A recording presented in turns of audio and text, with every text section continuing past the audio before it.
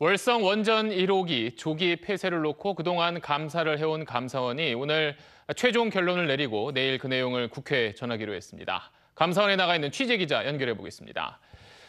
김혜영 기자, 최종 결론이 나올 때까지 참 오래 걸렸는데 1년이 넘은 거죠? 네, 그렇습니다. 국회가 감사를 요구한 지 385일 만입니다. 법정 시한도 8개월을 넘긴 시점인데요. 찬반 논란 속에 그동안 몇 번씩이나 감사원의 감사 결론이 미뤄져 왔습니다. 감사원은 오늘 오후 4시쯤 최종 의결을 했다면서 관련 내용을 우선 처분 대상자에게 통보한 뒤에 내일 오후 2시에 국회에 전달하기로 했습니다. 의결 내용에 대해서는 철저하게 함구하고 있습니다. 정부의 탈원전 정책 그 정당성과 연계된 만큼 뭐 내용이 나온다면 파장이 클 수밖에 없는데 혹시 의결 내용 취재된 게 있습니까?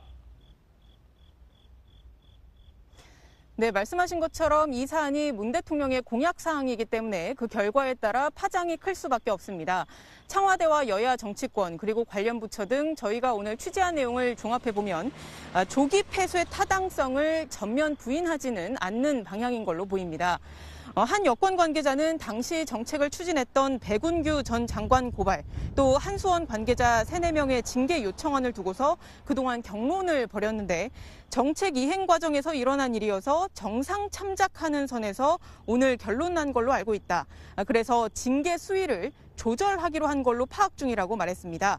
고발 대상의 범위, 숫자를 조절했다는 뉘앙스였는데요. 한 정부 관계자는 최재형 감사원장과 또 감사위원들 간에 절충점을 찾았다라고도 말했습니다. 피감기관인 산업부와 한수원 쪽에서는 반응이, 반응이 나온 게 있습니까? 네, 아직 결과를 통보받지 않았다는 게 공식 입장입니다. 다만 감사 과정에서의 공정성 여부도 논란이었던 만큼 촉각을 곤두세우는 분위기인데요. 특히 최재형 감사원장은 최근 국감에서 감사 저항이 심각했다는 입장을 밝힌 바가 있어서 내일 결과를 지켜봐야 할 것 같습니다. 지금까지 감사원에서 전해드렸습니다.